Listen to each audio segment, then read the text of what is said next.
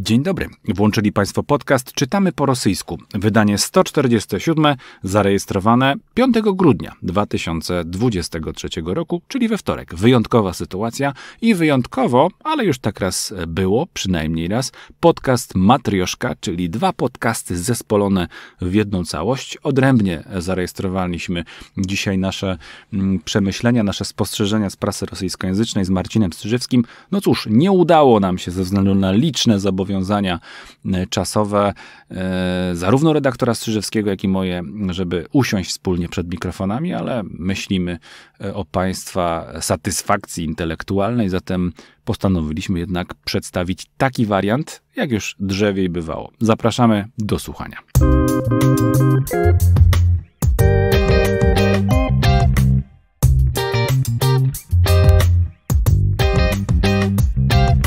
Drodzy Państwo, w tym dzisiejszym podcaście Matrioszce, czyli podcast w podcaście, który mm, zarejestrowaliśmy z Marcinem Strzewskim odrębnie, ja zajmę się przede wszystkim e, wymianą handlową Rosji, czyli biznesem. Nie ukrywam, że inspiracją do tego, mm, aby wyszukać takie materiały, mm, była dla mnie obrona doktoratu pani magister Karoliny Gołąbek, prywatnie mojej małżonki E, która odbyła się na Uniwersytecie Komisji Edukacji Narodowej, mm, a właśnie tym tematem zajmuje się mm, Karolina, czyli mm, kwestią związaną z, z nauczaniem języka rosyjskiego w biznesie, w komunikacji biznesowej. E, a to będzie i jest, był i będzie temat e, kluczowy dla dalszego rozwoju współpracy wielu przedsiębiorców, ale nie tylko przedsiębiorców i w kraju, tutaj u nas w Polsce i poza granicami w kierunku zachodnim e, spoglądając. Zatem warto cały czas śledzić to, co dzieje się na tych rynkach rosyjskojęzycznych. No, z punktu widzenia oczywiście podcastu czytamy po rosyjsku, tym fundamentalnym rynkiem rosyjskim jest rzecz jasna Federacja Rosyjska, chociaż nie zapominamy o innych przestrzeniach, gdzie język rosyjski wciąż jest kluczowym mm, narzędziem do e, handlowania. E, zatem zerknijmy, co dzieje się w tych e, dwóch e, wątkach, które dla Państwa wyszukałem. Pierwszy z nich dotyczy części samochodowych. To też ważna część przemysłu, ważny element przemysłu. Otóż Rosja została, jak podaje Auto News RU, właściwie już skolonizowana przez chińskich producentów. I w związku z tym takim nierównomiernym, sztucznym rozwojem chińskiego rynku samochodów wewnątrz Federacji Rosyjskiej okazuje się, że zaczęło tam brakować najzwyczajniej w świecie części zamiennych do tych chińskich pojazdów. Zostało to potwierdzone przez Rosyjskie Stowarzyszenie Dealerów Samochodowych, skrót o dźwięcznej nazwie ROAD, ROAD Rosyjskie Obsiedztwo Automobilnych Dealerów, i dodatkowo jeszcze włączył się do tej analizy Rosyjski Związek Ubezpieczycieli Samochodowych RSA, Rosyjski Sojusz Autostrachościków. No dlaczego oni? No po, ponieważ oni wypłacają odszkodowania za różnego rodzaju kolizje, wydarzenia związane z koniecznością wymiany części samochodowych. No i w rozmowie z portalem Auto News RU dilerzy, przedstawiciele tych organizacji nazwali co prawda sytuację, czy też określili ją jako sytuację tymczasową, E, zapewniają, że nie ma nierozwiązywalnych problemów z dostawami części, ale eksperci także ostrzegają, że lepiej jest na dzisiaj w Rosji, przynajmniej w tej części rynku, który został zajęty przez Chiny, szczególnie dbać o poszczególne elementy swoich pojazdów, tych nowych chińskich, ale nie tylko nowych chińskich, bo niektóre, jak Państwo doskonale już wiedzą, mówiliśmy o tym w naszym podcaście, funkcjonują pod nazwami takim jak na przykład Moskwicz, prawda? Więc jeśli zajdzie taka potrzeba, wymiany, może to niestety potrwać przy niektórych elementach, przy niektórych detalach nawet do kilku miesięcy oczekiwanie na y, ich sprowadzenie.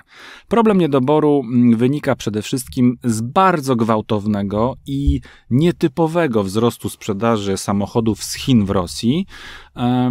I mówi o tym pan e, Patsiu Koldin, e, który reprezentuje mm, tą organizację Road, e, o której przed momentem mówiłem.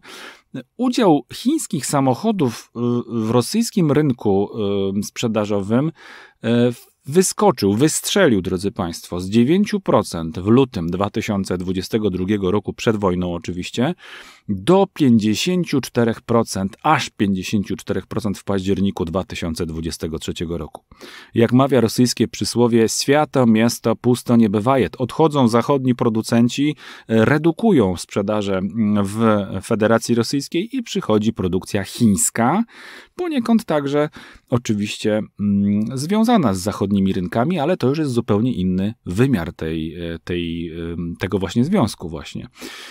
Więc mm, jeśli chodzi o 23 rok, ten, który zaraz dobiegnie końca, chińskie marki takie jak, nieznane nawet tu w Polsce za bardzo powszechnie, KAI, BAIK, Tank, Jetur, JQ, SWM, Hongki, Livan oficjalnie weszły na rynek Federacji Rosyjskiej no, jako nowe, jako nowe mm, propozycje dla rosyjskiego klienta, podczas gdy marki już działające w kraju znacząco poszerzyły swoją mm, e, gamę swoich modeli i penetrację rynku, co spowodowało, no cóż, pewnego rodzaju zator, mm, bo samochody ruszyły na drogi, zaczęły się hmm, psuć po prostu oraz e, zaczęły e, wpadać w różnego rodzaju kolizje i zdarzenia drogowe, no i zaczęto obserwować po prostu e, tąpnięcie, jeśli chodzi o ich rewitalizację tych pojazdów. Nie ma po prostu części.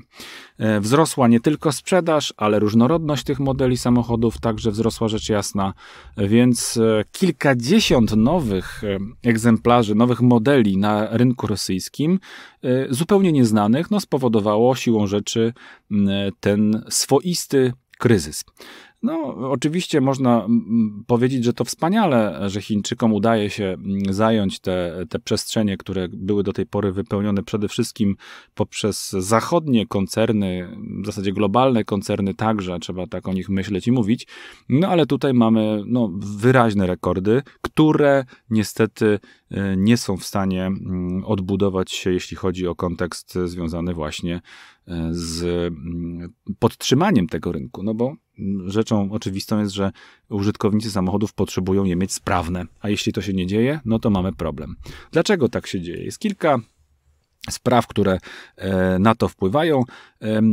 Pierwsza rzecz to jest e, trudność z mm, tak naprawdę identyfikacją, jaka część potrzebna jest w danym pojeździe. Mm, jeśli chodzi e, o nowoczesne samochody, mówią eksperci, to po rozebraniu część po części e, takiego pojazdu możemy otrzymać wynik e, w okolicach około 10 tysięcy detali, elementów, z których składa się taki pojazd. Ale tak naprawdę tylko około 100 z nich będzie najbardziej popularnych i najbardziej potrzebnych do e, takiego bieżącego utrzymania pojazdu. No i części te prawie na pewno znajdują się w magazynach dealerskich lub można je relatywnie szybko uzyskać, jeśli chodzi o przedstawicieli marek, ale problemy pojawią się, drodzy Państwo, rzecz jasna, gdy potrzebna jest ta jedna z pozostałych 9900 części. Mówimy o pewnym oczywiście uproszczeniu, przybliżeniu. Takie sytuacje zdarzają się oczywiście przede wszystkim w momentach, kiedy samochody się rozbijają, e, kiedy mm, wpadają w różnego rodzaju zdarzenia, e, z których nie da się ich e, obronną ręką wyprowadzić, nie są w stanie być odświeżone na szybko, ponieważ brakuje e, tych elementów, które gdzieś tam wewnątrz e, w zwyczajowy sposób by się nie zepsuły, gdyby nie stłuczka na przykład. Deficyt istnieje, zdają sobie z tego sprawę wszyscy, a e, rosyjscy klienci, nawet ci, których stać jest na te pojazdy, przecież nie są one rozdawane za darmo nigdzie, no mają z tym pewien problem. Druga kwestia, czyli tak, czyli pierwsza z nich to jest brak katalogu części, tak naprawdę dobrze przetłumaczonego na język rosyjski. Myślą niektórzy mechanicy i dealerzy, że zamówili dobrą część, ale dostają inne. Dochodzi się do punktu, w którym łatwiej jest po prostu wysyłać chińskim partnerom zdjęcie, fotografię części, no ale y, to jest naprawdę trochę metoda, powiedzmy sobie wprost, y, uboga technologicznie, że na tej podstawie, bez języka tak naprawdę, to jest ważny ten kontekst y, komunikacyjny, nie udaje się szybko i sprawnie przeprowadzić relatywnie prostych technologicznych procesów, jak wymiana części. Druga rzecz i też e, bardzo zastanawiająca, to jest mega szybka modernizacja modeli tego, tej linii modeli samochodów. To jest charakterystyczne dla chińskich producentów, ponieważ ta gama się odświeża w zasadzie rok do roku, czyli chińscy producenci samochodów najszybciej na świecie modernizują swoje modele i okazuje się, że e, samochody wybudowane w roku 2023 e, już będą w 2024 roku miały zupełnie inne konfiguracje, jeśli chodzi o części, o detale i będzie to wpływało rzecz jasna także na e, ten rynek e, serwisu samochodowego. Nie ma tego problemu, jak twierdzą eksperci, w przypadku choćby koreańskiego pojazdu, w których można przewidywać pewnego rodzaju racjonalne podejście do tematu, że model jednak z pewnymi zmianami widocznymi, ale jednak minimalnymi z punktu widzenia technologicznego, będzie produkowany przez 5 do 6 lat. To są te cykle życia samochodów, które są znane z wysoko rozwiniętych, e, może nie najwyżej, ale jednak wysoko rozwiniętych e, technologicznie krajów. No i będzie w związku z tym łatwo, ładnie sprzedawany w znacznych ilościach właśnie dzięki temu, że te części są bardzo dobrze dostępne. No a to też powoduje, że magazyn można takimi częściami nawet na zapas zapełnić i nie dzieje się nikomu w związku z tym krzywda. Wręcz przeciwnie, można powiedzieć, że e, przy dobrej koniunkturze można swobodę e, właśnie tego serwisowania zapewnić. Chińska nowość, z roku na rok zastąpiona nowszą wersją. Niestety nie daje tej gwarancji, wprowadza w konfuzję wszystkich i jest to pewnego rodzaju problem. No zobaczymy, jak sobie Rosja z tą kolonizacją chińską mm, poradzi. Y, jest ona bardzo widoczna w tej branży, o której tutaj mowa, czyli rynek motoryzacyjny, części zamienne do samochodów, które Rosjanom się podobają, które zajęły miejsca swoich y, konkurentów z zachodniej Europy, ale nie bez problemu, jak Państwo słyszą. Drugi temat, który Państwu chciałbym zaproponować, dotyczy no cóż, e, ziarna rosyjskiego, zbóż, mówiąc e, bardziej e, precyzyjnie. No i chodzi o to, że rosyjska prasa, ta oficjalna, chwali się swoim sukcesem, że oto Rosja po raz pierwszy od marca roku 2022 stała się jednym z pięciu największych dostawców zbóż, różnych zbóż oczywiście, do krajów Unii Europejskiej. Zostało to ogłoszone przez oficjalną agencję rządową RIA Nowości, oczywiście jako wielki sukces, no bo jest to pewnego rodzaju paradoks. Rosja, zboże, wiemy jak dużo emocji jest związanych z choćby zbożem ukraińskim trafiającym na polski rynek. Mówiliśmy to też o tym tutaj w naszym podcaście, czytamy po rosyjsku. Słyszą to Państwo regularnie. Jest to jeden z ważnych problemów, który jest do rozstrzygnięcia w najbliższej perspektywie czasowej, także przez polskie władze te nowe, które się będą konstytuowały najpewniej e, już od przyszłego tygodnia. Mamy wciąż problem e, zatrzymanego transportu mm, towarowego, także jeśli chodzi o to pogranicze polsko-ukraińskie no jest z tym sporo kłopotów, no i sam chleb, zresztą nie tylko z tego względu e, jest e, takim e, no, politycznym, wydaje się, jak mawiają eksperci, też tematem. O tym mówiła choćby wiceprezes firmy Nowel, wielkiej piekarni, można by rzec, pani Karolina Zajezierska w podcaście Biznes, Ludzie, Pieniądze Gazety Wyborczej. Takie ważne pytanie dla nas wszystkich, ile powinien kosztować chleb? Dużo tutaj o tego typu e, właśnie rozstrzygnięciach, które nas interesują i które pewnie także interesują Rosjan, którzy patrzą na te nasze rynki również w aspekcie właśnie eksportu zbóż. Mm, więc wracając do nich właśnie, Rosjanie powołują się na Eurostat, na dane Eurostatu, e, które okazują się być dla nich wiarygodne oczywiście, no ale faktycznie według agencji unijnej, tej statystycznej, gwałtownie zwiększyła, e, zwiększyły się zakupy rosyjskiego zboża we wrześniu tego roku. Wzrosły one o 22% w ciągu miesiąca i dziesięciokrotnie w aspekcie mm, całego roku, do 180 tysięcy ton. Podkreśla się, że była to maksymalna wielkość zakupów od półtora roku i tym samym Rosja rzeczywiście stała się czwartym co do wielkości eksporterem zboża do Unii Europejskiej. Jeśli Państwo sobie zerkną do tabelek w dziale rolnictwo na portalu europejskim, jeśli chodzi oczywiście o statystyki i, i przyjrzą się Państwo właśnie tym mm, danym, no to tam będą królowały takie e, państwa właśnie choćby jak e, Ukraina, to jest jasne. Mamy tam też Turcję, co jest też ciekawym do rozstrzygnięcia, do rozważenia mm, wątkiem, bo być może jakaś część tego zboża rosyjskiego przez Turcję trafia również do mm, Unii Europejskiej. Nie rozstrzygam tego teraz tutaj, ponieważ e, w statystyce europejskiej są podane z całą pewnością te dane, które wskazują na pochodzenie firmy, która eksportuje to zboże, myślę, że trudniej jest dociec i nie widać tego na powierzchni, skąd faktycznie ta firma dana, ten eksporter mm, zboże e, różnego absolutnie rodzaju e, posiada. Więc to jest e, interesujący temat do badania. Było dużo takich podnoszonych wątków i dyskusji na temat węgla rosyjskiego oczywiście. Skala jest zupełnie inna i temat, jeśli chodzi o życie społeczne i przemysł, także jest także e, nieco odmienny, ale budzi to pewne zastrzeżenia, pewnie pewne kontrowersje w obliczu oczywiście toczonej wojny przez Federację Rosyjską. Jak to się dzieje, że Rosja może sprzedawać do Europy swoje zboże w takim e, zakresie? Oczywiście, jeśli chodzi o dane liczbowe, one dla eksperta będą e, zupełnie inaczej wyglądały niż ton propagandowy ton właśnie, w którym Rosja opowiada sama sobie, że E, karmi Europę, bo tak to, drodzy Państwo, przecież brzmi, skoro znajduje się w pierwszej piątce mm, tych, którzy ważny przecież właśnie społecznie i politycznie surowiec, weźmy choćby pszenicę,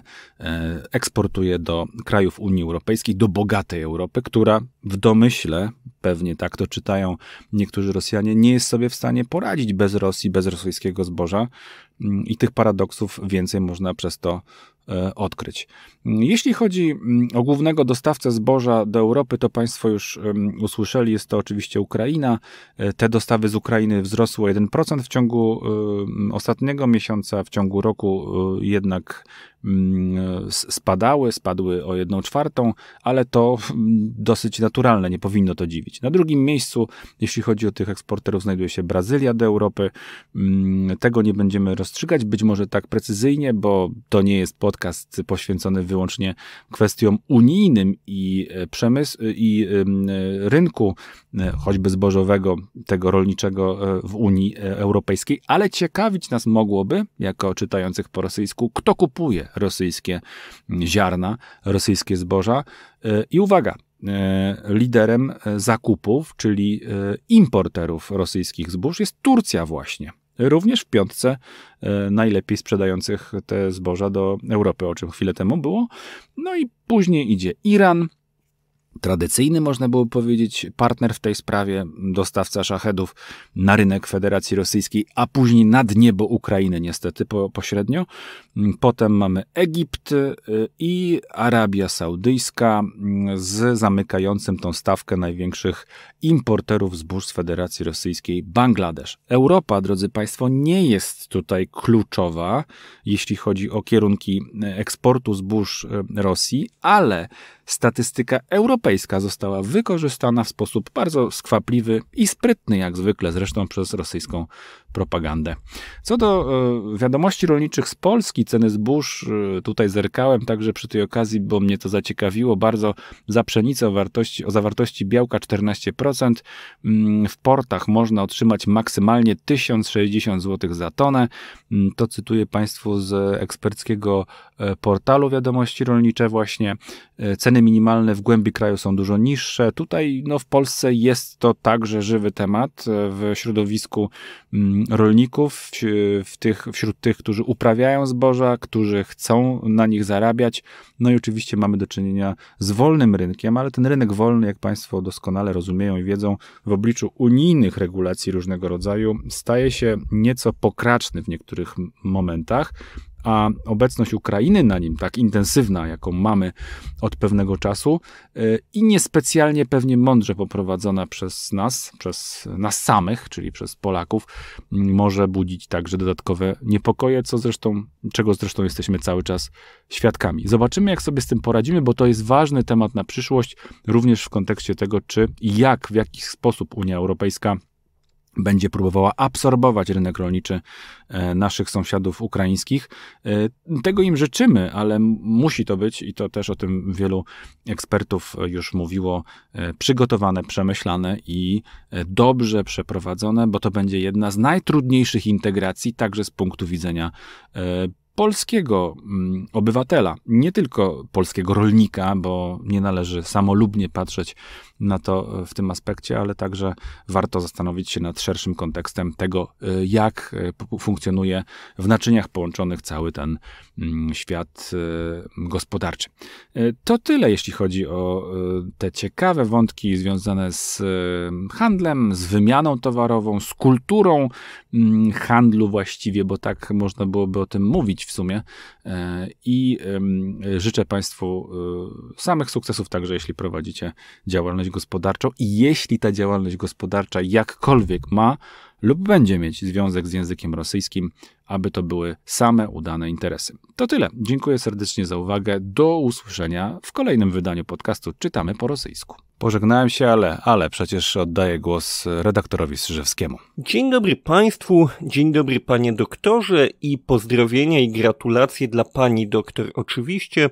A teraz dwa moje tematy. Pierwszy z nich jest tematem kulturowym, kulturalnym nawet, natomiast oczywiście mocno osadzonym w bieżącym kontekście.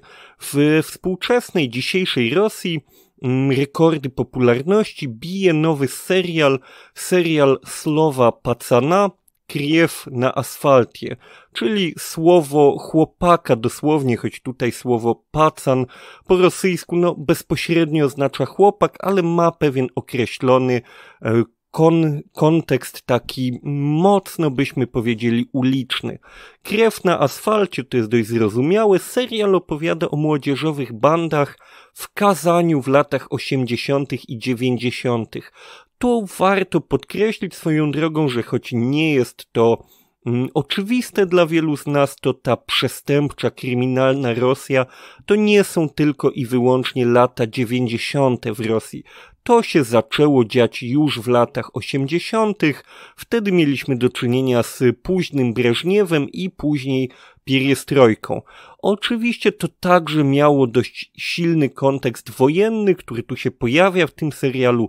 Wtedy tymi członkami różnego rodzaju band, tak zwanych OPG, czyli zorganizowanych grup przestępczych, byli w dużej mierze, nie tylko oczywiście, ale pewien rdzeń stanowili weterani z Afganistanu, którzy wracali już nauczeni przemocy, z dobrym przygotowaniem fizycznym, z traumami na psychice, bez pomysłu na to, co ze sobą zrobić, często, często słysząc, że ten ich wysiłek na wojnie nie był szczególnie tak naprawdę do niko, nikomu do niczego potrzebny i oni nie byli za to jakoś szczególnie nagradzani i wielu z nich zwróciło się właśnie w stronę także, no niestety, przestępczości. Reżyserem tego serialu jest Żora Kryżownikow, znany już z kilku innych, może nie tak głośnych jak ta, bo faktycznie ten serial w Rosji popularnością rywalizuje na przykład z Grą o Tron, jeśli chodzi o liczbę opinii w internecie. Jest to naprawdę duże zjawisko i stosunkowo świeże. A już, proszę Państwa, zaczęli się wypowiadać przeciwko temu serialowi przedstawiciele władzy. Przede wszystkim Rustam Mininchanow, czyli naczelnik, gubernator Tatarstanu. Kazań, w którym toczy się akcja serialu, jest właśnie stolicą Tatarstanu i Mininchanow narzekał już na zgubny wpływ tego serialu pełnego przemocy na młodzież. Ja osobiście jeszcze nie miałem okazji e, tego serialu obejrzeć i zbadać, gdzie on dokładnie jest dostępny dla polskiego widza. Wątpię, prawdę mówiąc, żeby on był dostępny w języku polskim, chociażby z napisami, więc tutaj także nie wiem, czy jest sens go Państwu polecać.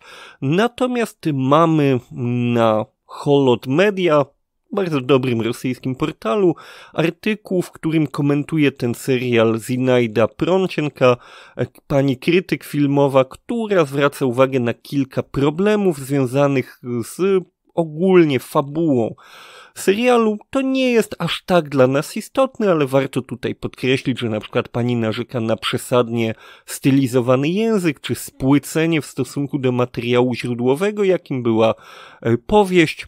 Mm, tam na przykład pojawiały się wątki KGB, służb specjalnych, które rozgrywały te młodzieżowe bandy dla swoich korzyści. W serialu tego po prostu nie ma.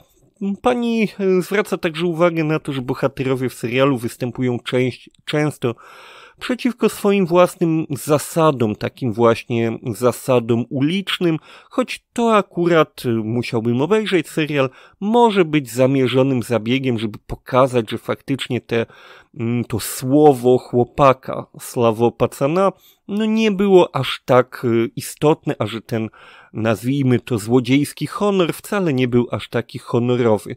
Natomiast tutaj pojawia się kilka innych ciekawostek, to znaczy na przykład w tym serialu pojawiają się dość otwarte wątki antyamerykańskie, dobrze wpisujące się w no, obecny przekaz polityczny w Federacji Rosyjskiej. To jest ta główna linia partii. I tu jeden z bohaterów, weteran właśnie wojny w Afganistanie, który przyjeżdża i bierze udział w tych, mm, nazwijmy to, przemocowych rozwiązaniach problemów kazańskiej młodzieży, jednemu ze swoich kolegów, który ma na sobie czapkę z napisem e, USA, mówi, że Stany Zjednoczone mujahedinom w Afganistanie wysyłały Stingery w domyśle mm, Amerykanie zabijali rosyjskich żołnierzy w ten sposób pośrednio, więc ten sposób uderza w Stany Zjednoczone. Jednocześnie na, mm, w tej warstwie produkcyjnej możemy zobaczyć, że mm, wzięto do tego serialu, zaangażowano grupę muzyczną AIGL, która wyraźnie stoi po stronie, nazwijmy to, po tej właściwej stronie historii, wypowiada się otwarcie antywojennie. Więc ten soundtrack się tutaj pojawia, natomiast sama grupa ze względu prawdopodobnie na swoje przekonania nie pojawia się w ogóle w napisach końcowych, nie jest tu wymieniana, choć oczywiście Rosjanie są w stanie ustalić i bez tego wyraźnego wskazania, kto śpiewa te piosenki, które dzięki popularności serialu także tę popularność zdobywają. Dlaczego mówię, że ten temat jest mocno osadzony w bieżącym kontekście? Mm, myślę, że tutaj dość dobrze jesteśmy w stanie prześledzić te połączenia pomiędzy rzeczywistością lat 80. i 90. i tym, co do Rosji się zbliża. To znaczy, mówię tu oczywiście o fali bandytyzmu i przemocy, która już w tej chwili się zaczyna. Mieliśmy przynajmniej kilkanaście przypadków, kiedy ludzie, którzy wracali z wojny, dokonywali brutalnych, głośnych przestępstw. Było także wiele przypadków mniej nagłośnionych, mniej e, skandalicznych, nie morderstw, nie gwałtów, tylko na przykład nagrane na wideo rzucanie granatem hukowym na podwórku pełnym dzieci. Tego typu mm, przypadki po wojnie są w każdym, w każdym państwie na świecie, które doświadczyło wojny, częstsze niż przed tą wojną. To jest sytuacja, byśmy powiedzieli, wręcz naturalna, to znaczy ci ludzie nauczeni przemocy, bez e, umiejętności odnalezienia się w cywilu, często zwracają się ku przestępczości. W Rosji ma to dodatkowy wymiar, bo zabezpieczenie społeczne dla weteranów jest tradycyjnie na niskim poziomie i sam szacunek społeczny do weteranów często po prostu nie jest wysoki. O ile wiele się mówi w putinowskiej Rosji o weteranach II wojny światowej i oni w po prostu w wymiarze czysto nazwijmy to społecznym, mają wysoki status, o tyle nie są oni często zabezpieczani chociażby wypłatami finansowymi. Tutaj już e, w naszym podcaście nieraz o tym mówiliśmy, chociażby z okazji 9 maja, kiedy nieraz się okazywało, że wypłaty takie okolicznościowe dla tych weteranów były niższe niż chociażby w Kazachstanie. Mm, i że ci ludzie po prostu często żyją w złych warunkach. Prawdopodobnie po bieżącej wojnie to zjawisko się zwyczajnie powtórzy, a ten serial i jego popularność w tym momencie możemy uznać do pewnego stopnia za proroczą. Przejdę jednak do drugiego tematu. Ten jest także wojenny, także związany z przyszłymi weteranami i równie aktualny. Dwóch deputowanych Dumy Państwowej Federacji Rosyjskiej Wiktor Sabaliow, jeśli tak pada akcent z partii komunistycznej i lepiej nam znany Andrzej Guruliow, były generał należący w tej chwili do Jedynej Rosji, czyli partii prezydenckiej, partii władzy, zasugerowali, można powiedzieć, zaczęli dyskusję, otworzyli ją nawet ponownie, bo to nie jest pierwszy raz, o tym, by przedłużyć czas służby poborowych do dwóch lat. Tutaj akurat cytuję Fontankę, która także opiera się na publikacji portalu moskiewskiego MSK Adin i możemy tutaj znaleźć wypowiedzi specjalistów i za i przeciw, co jest ciekawe, bo nie zawsze w tego typu przypadkach można się spotkać z argumentami po obu stronach barykady, a tu mamy oczywiście barykadę czysto wojenną. Czas służby żołnierzy poborowych jest kwestią bardzo blisko, mm, bardzo bliską obecnie trwającej wojnie. Juri Knutow, cytowany przez MSK Adin ekspert wojskowy, mm, skomentował takimi słowami: Wydłużenie stażu służby jest dobrym pomysłem, gdyż rok to zbyt krótki czas na wyszkolenie poborowego. Nawet psychologiczne przystosowanie się do wojskowego sposobu myślenia zajmuje około dwóch lat i dopiero wtedy poborowy zaczyna stopniowo odzwyczajać się od domu. To w ogóle jest, proszę Państwa, ciekawy przypadek. Mówimy na razie o propozycji, która prawdopodobnie jest swojego rodzaju próbą wysądowania nastrojów społecznych na ten temat, czyli próbą przez takie sądowanie ustalenia, czy społeczeństwo zareaguje pozytywnie, negatywnie i czy w ogóle za, zareaguje intensywnie na tego rodzaju zmiany. Czy te zmiany będą miały duże znaczenie? Tu możemy sobie wyobrazić dwa zupełnie różne scenariusze, to znaczy liczba branych w ramach poborów wiosennego i jesiennego rekrutów pozostanie niezmienna, ale każdy z nich będzie służył dwa razy dłużej. To by oznaczało, że jednocześnie na służbie byłoby zdecydowanie więcej żołnierzy poborowych. Z drugiej strony może być to zupełnie inny scenariusz, to znaczy, skoro ci rekruci by służyli dwa razy dłużej, no to nie musiałoby ich być tak wielu, ponieważ po prostu każdy z nich dłużej by wypełniał swoje obowiązki. Mm, więc można tutaj pójść dwiema różnymi ścieżkami. Nas najbardziej jednak interesuje to, jak to by mogło wpłynąć na tak zwaną specjalną wojenną operację, czyli agresywną wojnę Rosji przeciwko Ukrainie. Mm, jest to, proszę Państwa, zagadkowe pytanie. Nie mamy tutaj absolutnej pewności, jak mogłoby to wyglądać, ponieważ w tej chwili przede wszystkim żołnierze poborowi a są zmuszani na różne sposoby, czasem mniej, a czasem bardziej agresywne, do podpisywania kontraktów. W teorii w rosyjskim państwie żołnierz poborowy zgodnie z obietnicami władz nie powinien służyć bezpośrednio na froncie. To jednak często kończy się tak, że ci żołnierze albo właśnie są zmuszani do podpisywania kontraktów, albo proszę Państwa są wysyłani na przykład na granicę z okręgami czernichowskim czy sumskim Ukrainy, gdzie intensywność działań bojowych jest zdecydowanie mniejsza, co nie znaczy, że tam się nic nie dzieje. Tam regularnie wydarzają się ostrzały po obu stronach, artyleryjskie, rakietowe, dronowe, a także działa, działają po obu stronach granicy grupy rozpoznawczo-dywersyjne, które także momentami potrafią prowadzić dość intensywne ataki na jedną i drugą stronę. Tu w dużym stopniu możemy wskazać na oddziały rosyjskich ochotników, które parę razy w szeregach armii ukraińskiej przechodziły te granice, wchodziły w głąb Federacji Rosyjskiej i tam właśnie zdarzało im się ścierać między innymi z żołnierzami poborowymi.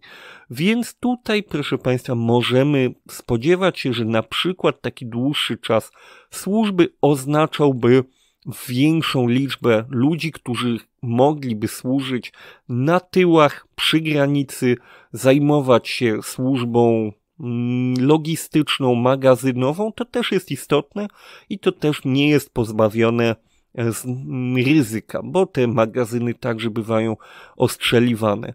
Więc jest to decyzja, na którą z całą pewnością dowództwo Federacji Rosyjskiej chciałoby się zdecydować, natomiast tak jak mówię, tutaj obserwujemy jakiegoś rodzaju sądowanie nastrojów społecznych. Dodajmy, że wypowiedzieli się też w tych artykułach prasowych przeciwnicy takiego rozwiązania, Aleksandr Kramci, e, Kramcichin, zastępca dyrektora Instytutu Analiz Politycznych i Wojskowych, powiedział, że jest to niewłaściwe podejście, ponieważ taka decyzja może pogorszyć stosunki, a tak naprawdę niczego nie zmieni. On sugeruje, że w ciągu roku także da się wyszkolić specjalistę wojskowego, jeśli oczywiście zastosuje się odpowiednie szkolenie. Tu warto zwrócić uwagę, że to szkolenie nie zawsze w Federacji Rosyjskiej faktycznie jest, y, nazwijmy to w ten sposób, pełne i profesjonalne. Z tym bywa bardzo różnie. Wystarczy przypomnieć ostatni przypadek, kiedy podczas takiego szkolenia w Rostowie, w okolicy Rostowu nad Donem, Granatnik stoczył się do ogniska i mm, mowa była o około 20 poległych rosyjskich żołnierzach. Były opowieści o tym, jak y, żołnierze rosyjscy, artylerzyści podczas przygotowywania się już bezpośrednio do wojny nie wystrzelili ani razu z haubicy, armaty czy moździerza, po prostu z niczego, bo nie było amunicji. Bywa z tym bardzo różnie, więc tutaj samo przedłużenie służby jest rozwiązaniem faktycznie, możemy się z tym zgodzić, zupełnie teoretycznym. Jeśli zanim nie nadejdzie jakaś zmiana do samej filozofii szkolenia żołnierzy, to niewiele zmieni. To po prostu może w teorii zapewnić albo większą liczbę mm, żołnierzy jednocześnie na służbie, a przypomnę, że Władimir Putin ostatnio podpisywał papiery, mm, które w teorii zwiększają liczebność żołnierzy e, wojsk Federacji Rosyjskiej, więc w teorii powinno ich tam być po prostu więcej. Takie przedłużenie służby poborowej może być narzędziem do mm, wypełnienia tej decyzji. Z drugiej strony, proszę Państwa, może to być też próba obniżenia napięcia społecznego, bo skoro oni będą służyć po dwa lata, może ich być powoływanych mniej, co z kolei po prostu sprawi, że mniejszy, mniejszy procent społeczeństwa dotknie ten pobór tak w ogóle. I ostatecznie nie będzie to tworzyło takich społecznych napięć, co też ma znaczenie, bo w tej chwili, proszę Państwa, Rosja przeżywa dość y, spore, mm, spory wewnętrzny stres związany z tym, że ludzie są wyciągani z rynku pracy, że są wysyłani na wojnę, gdzie można zginąć, że na różne sposoby są przymuszani do tej służby, więc to też może być zamysłem autorów tej propozycji. Chociaż także inny deputowany Dumy Państwowej, Siergiej Milonow, powiedział, że przecież armia dąży do tego, by stać się armią kontraktową, czyli po naszemu profesjonalną i dlatego ta propozycja nawet nie jest warta rozważenia. Więc tutaj mm, czekamy na to, jak społeczeństwo rosyjskie zareaguje na tą propozycję i bardzo możliwe, że w najbliższym czasie, choć nie spodziewam się, by wydarzyło się to przed wyborami prezydenckimi w marcu przyszłego roku, możemy się spodziewać, że razem z przewidywaną nową falą mobilizacji pojawią się też nowe rozwiązania związane z rosyjskim poborem. Dziękuję Państwu pięknie za uwagę. Dziękuję mm, Panie doktorze i widzimy się niedługo.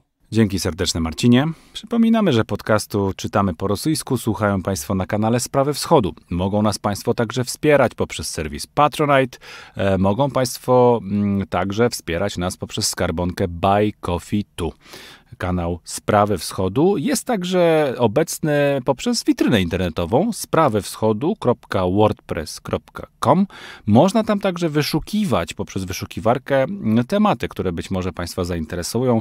W 147 już wydaniach podcastu naprawdę jest czego słuchać i serdecznie Państwa do tego zapraszamy. Ponadto Facebook, Instagram, tam także jesteśmy. Do usłyszenia.